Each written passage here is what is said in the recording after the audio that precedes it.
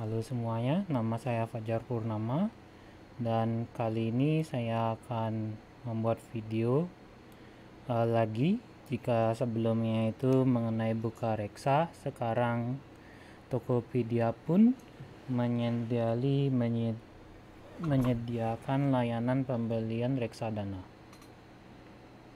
dan sebelum saya lanjut karena kali ini berhubungan dengan uh, toko online dan dompet digital maka jika anda berniat untuk untuk berdonasi ke saya anda bisa didon bisa donasi ke akun dompet digital Dana, GoPay, OVO ataupun Alipay dan bisa hubungi saya di sosial media di link sosial media sebelah kiri. Mari kita lanjutkan. Sebelum itu mari kita mendengarkan musik gratis dulu dari YouTube. Belum saya tunjukkan saya akan uh, membeli penjelasan dulu mengenai reksadana. Jadi reksadana sendiri itu um, uh, di reksadana di tunjukkan untuk uh, para investor uh, yang belum begitu dalam mengerti mengenai investasi. Jadi saya sebagai orang awam berinvestasi, biasanya untuk berinvestasi itu langsung apakah kita mau investasi ke saham, langsung ke obligasi negara ataupun ke produk investasi lainnya. Kalau reksadana sendiri yaitu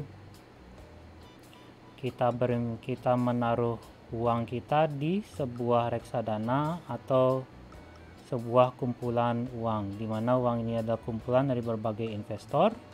Kita yang masih awam itu masih bingung mau investasi ke mana jika kita cukup berinvestasi ke taruh di reksadana. Dan uang tersebut akan dikelola oleh manajer investasi. Manajer investasi inilah yang akan uh, mengolah uang kita dan kita tinggal duduk diam dan mengandalkan manajer investasi investasi ini untuk menginvestasikan uang kita. Dan uh, nanti keuntungannya akan dibagikan mereka akan mengambil sebagian dari keuntungan kita akan dikasih juga keuntungannya Sebe seperti itu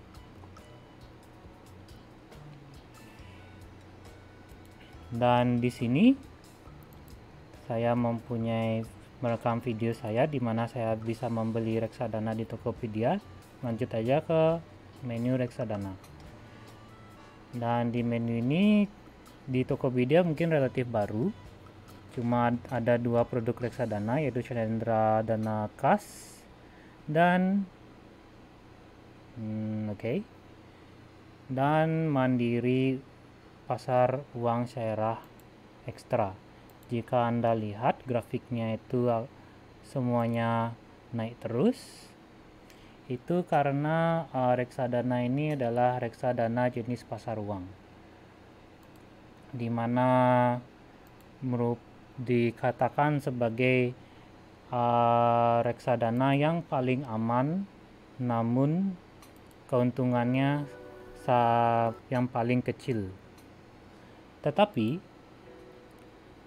keuntungannya tersebut masih lebih besar daripada berinvestasi daripada deposito di bank. Kenapa pasar uang itu yang paling aman dan aman dan selalu naik? Karena uh, skema investasinya seperti ini. Kita berinvestasi kepada uh, produk reksadana dan manajer investasinya itu pun akan meminjamkan uang ke yang memerlukannya seperti perusahaan atau apa pun. Dan yang jelas yang meminjam uang tersebut harus mengembalikan uang tersebut dengan bunga. Bunganya itulah uang kita dan sebagian dari bunganya itu akan dibagikan ke kita. Di situ di, di mana kita dapat keuntungan dan karena hanya bersifat meminjam uang dan kembali dengan bunga maka kelihatannya sangat aman. Um, sistem reksadana ini eh, sistem pasar uang ini bisa bisa jatuh atau bisa jatuh atau bisa atau rusak jika terjadi krisis ekonomi, krisis keuangan atau pelemahnya uang kertas seperti dolar dan rupiah dan jika itu terjadi semua hampir semua produk investasi kecuali emas dan yang tidak terkait dengan ini selamat. Oke, kita ayo kita kembali. Jadi dengan HP yang terkoneksi smartphone yang terkoneksi dengan terkoneksi dengan internet. Dan Anda tinggal download Tokopedia dan daftar. Anda bisa membeli reksadana di Tokopedia. Misalnya saya mengklik uh, produk calon dana kas tinggal Anda mau beli berapa dan beli. Dan begitu mudahnya Anda telah membeli reksadana. Bayar bisa dengan menggunakan OVO atau BCA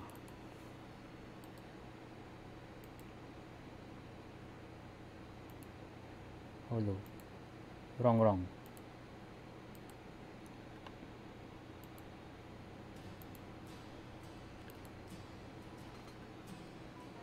Oke dan akhirnya pembelian berhasil.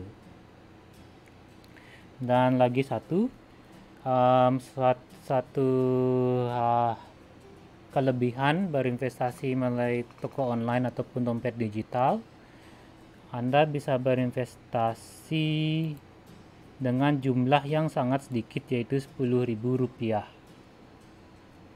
kalau yang saya tahu kalau Anda ingin mendeposito ke bank Anda perlu uang minimal 10 juta rupiah.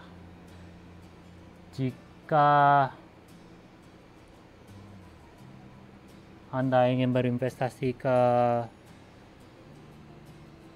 negara yaitu SBN retail atau surat berharga negara yaitu uh, minimal yang saya tahu itu satu juta rupiah. Jika Anda ingin membeli reksadana melalui sekuritas ataupun melalui bank biasanya minimal Rp100.000 tapi melalui toko online seperti Tokopedia, OVO, Bukareksa dan tidak tahu yang lainnya mungkin akan menyusul cukup dengan Rp10.000 jadi dengan uang yang saya kecil pun Anda bisa memulai investasi itulah ke kelebihannya ya walaupun kalau jika anda lihat 10.000 itu terus bunganya itu misalnya 7 atau 10 persen 10 persen lah. Dan anda satu tahun hanya mendapatkan uang 1000 dari 10.000 tersebut. Tapi tidak di situlah cara menggunakan pembelian reksadana melalui, melalui aplikasi ini.